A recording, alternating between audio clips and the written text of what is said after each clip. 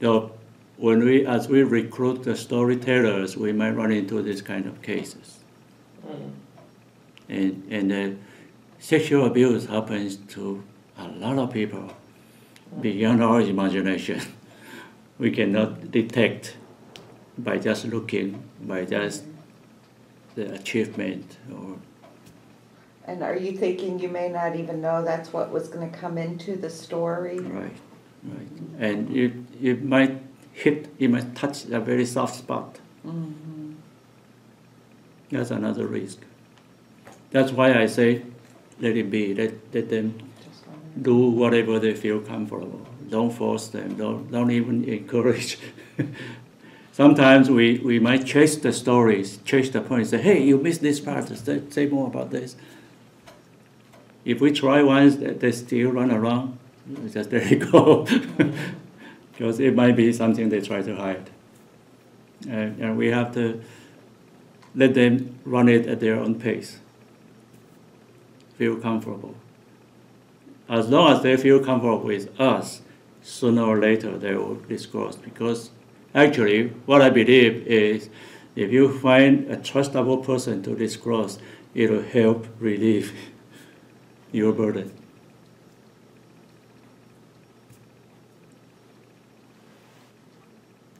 And, and in, a, in a psychotherapy situation, it, the more detail you get into, the more relief you get. but but people, it it takes a, a lot of preparation, a lot of warm up to get to that point. So I would say, do the brief part Mm. at the beginning, and perhaps when they get into the real part, they don't want to be recorded. They can tell you, but they don't. Want to be, mm-hmm. that's fine. We mm-hmm. accept that. Because the, the burden is if if you want to write it down, you, you depend on the memory to write it down. But then, when you write a story, you, there's no rule saying that you have to reach certain level of detail. Look at the story of Jesus. We don't have that much detail, right? We have one detail that I share with people that nobody pay attention to it. When Jesus break the bread to feed the 4,000 or 5,000, he tells the people to sit in row in a, in a number of session. I don't know any, any preacher preach on that special act Mm. About why? about s- divided into group and said, keep, Did you keep ever the hear crowd in that, order. You too? Nope. No? I never heard of that. I remember even reading I mentioned that in, uh, in the Presbytery worship once. Mm-hmm. Remember, you, you asked me to do the Presbytery Wednesday mornings. that. Yeah, when we did. I mentioned that. I say, hey, that's that's Presbyterianism. Mhm. but but that is still not a lot of detail. How did he tell the disciples to do that? I don't think disciples know how to do that. Yeah. How to put people in rows. In, Try to get the people from the back, give them up to the front, you know? Yeah. it takes military training to do like that. we're to Yeah, get come that forward. Come right? forward. Get closer. That's right. You in the back. You come up here. Every story has something like that in it, somewhere. Unusual, we don't pay attention to it until someday you say, wait a minute, how come it's there?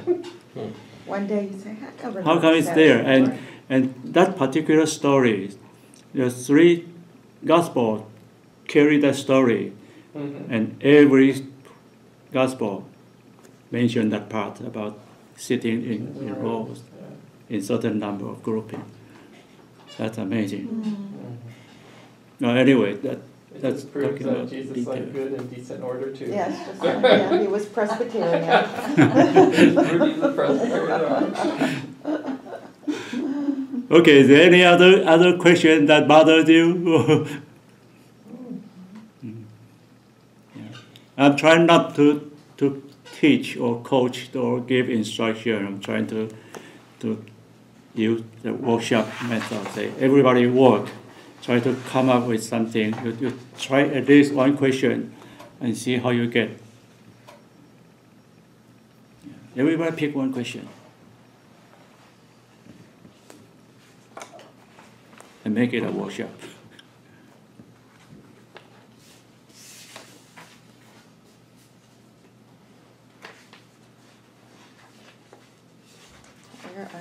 This, this is the method I'm trying to use, try to promote in a Sunday school. Instead of giving instruction, everybody work.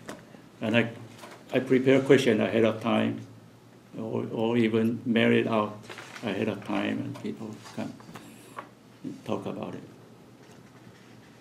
And I try to do this based on the sermon. So after we listen to the sermon, we go to the Sunday school classroom, we talk about, we deal with the question that's raised from the sermon. Are these, are these the questions you're wanting us to look at? Yeah, any Next question, the last the, page? the, the four pages of questions. Some of them funny, some of them serious. And you just pick either the top one, or the middle one, or the last one. Maybe give you one, this one, I don't know. It will be a big burden to maintain collections of personal stories in the congregation. You agree?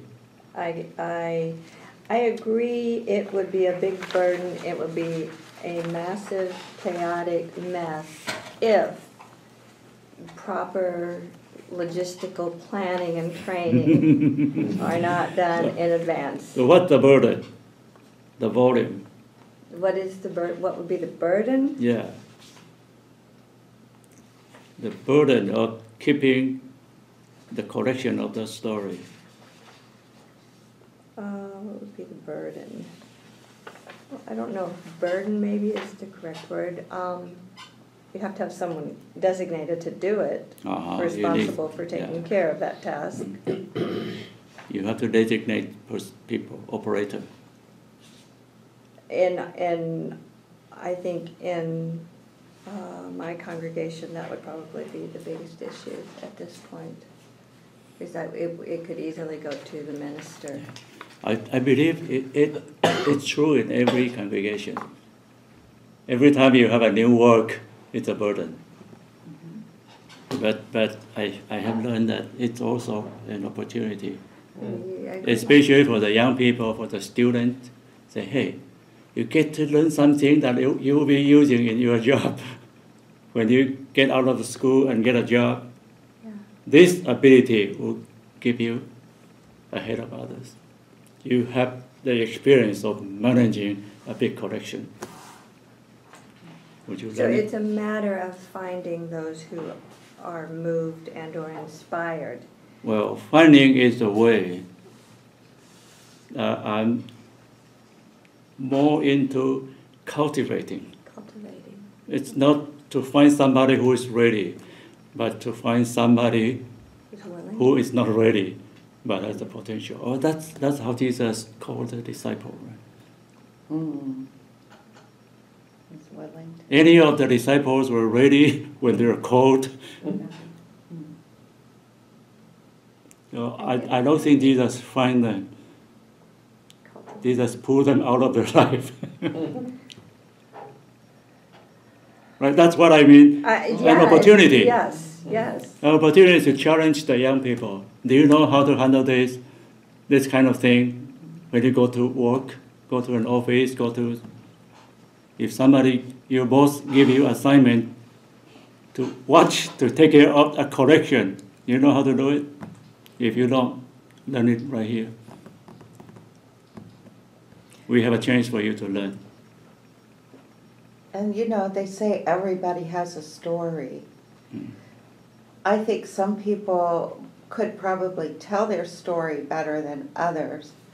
And, um, you know, how do you get those people that, that don't articulate very well? How do you get them, um, to, and, and they seem, or, or they, you know, the people seem boring and they mm-hmm. really, oh, they probably don't have a story. Mm-hmm. Mm-hmm. But somehow, everybody does have some Yeah, kind of story. And so how do you, how do you help the person who cannot articulate very well? I have a question like that related, yeah.